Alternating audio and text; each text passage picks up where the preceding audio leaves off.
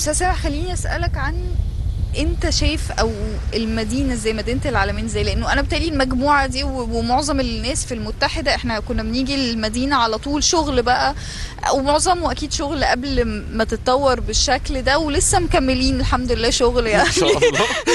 الحمد لله نخلص بقى ونصيف. شايف التطور اللي حصل هنا إزاي في المدينة؟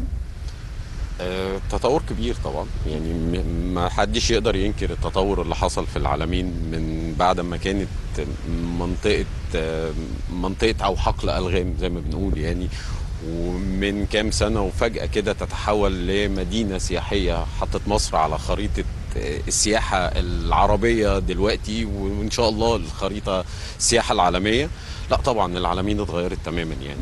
لأن أنا أنا فاكر زمان العالمين دي لما كنت باجي آه، الساحل في في ع- في 2008 و2009 و2010 لا طبعا العالمين كانت آه، صحراء.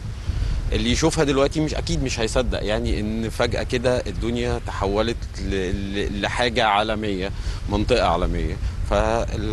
فالعالمين خلاص بقت حطت مصر في خريطة السياحة زي ما قلت لك العالمية.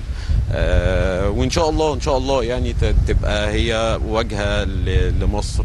بإذن الله هل شغل ال outdoor بقى بيزيد مع الرواج اللي بيحصل في مدينة العلمين قصدي حتى بره في الساحل بشكل عام طبعا طبعا مم. يعني شغل ال out لأن أنا عارفة إنه ما شاء الله شركه مسؤولة عن outdoor كتير يعني طبعا هنا في العلمين ده آه. آه. كان task جديد علينا آه إن إحنا نشتغل أول سنة في العلمين هنا فزي ما قلت لك في الأول برضو إحنا ابتدينا نشتغل عشان إحنا يعني ابتدينا نعمل السيرفي ونشوف ال ال على أرض الواقع إيه إيه اللي موجود وإيه اللي نقدر نعمله وإيه اللي نقدر نشتغل عليه مع إدارة المهرجان. طبعا آه ادونا البريف وادونا كل التفاصيل عن كل حاجة.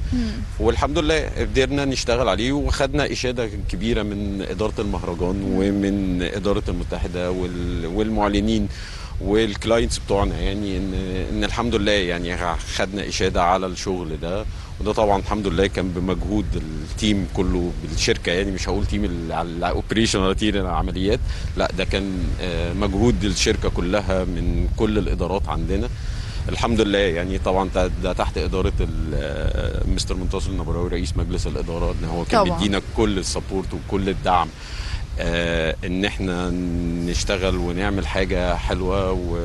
والحمد لله. يعني أعتقد إن إحنا يعني عملنا حاجة كويسة الحمد لله.